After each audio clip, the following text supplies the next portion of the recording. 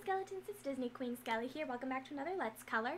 So, uh, we are going to be continuing with the uh, Blast from the Past. If you guys don't know what my Blast from the Past is, it's I'm going to show you guys uh, pictures of something, stuff I've colored on Happy Color app in the past that I've already done.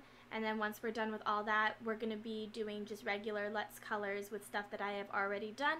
So I'm not going to worry about coloring anything too much right now. I have done a little bit um, in the food section to try and catch myself up, but I'm not going to be presenting those until I am done with the blast from the past. So I hope you guys enjoy what I have for you. As you all know, Scoob is officially over for now until we catch up with those pictures. So you're going to be getting mosaics, hearts, and food today. Again, that's pretty much going to be the three sections that I will be giving you from now on, and we're just going to be eliminating them one by one as this goes on. So thank you guys so much for watching. I hope you enjoy these pictures that I have for you. Bye, little skeletons. Stay safe. I love you guys.